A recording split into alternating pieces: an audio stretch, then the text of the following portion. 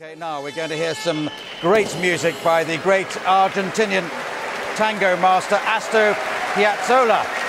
An arrangement of his piece, uh, Libertango for trumpet and orchestra, and here to perform it is the virtuoso trumpeter Alison Balsom, winner of a classical Brit earlier this year.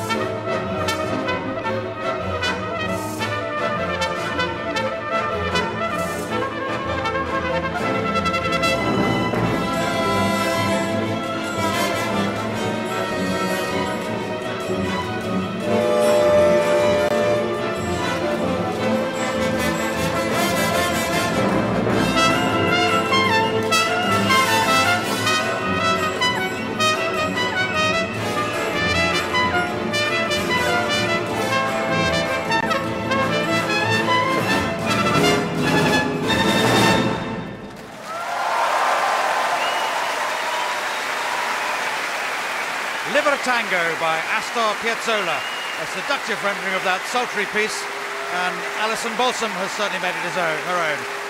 It was arranged for trumpet by Julian Malone. Libertango was originally written uh, for bandoneon, a type of piano accordion that has been arranged for lots of different instruments, and it was one of Piazzolla's most popular pieces.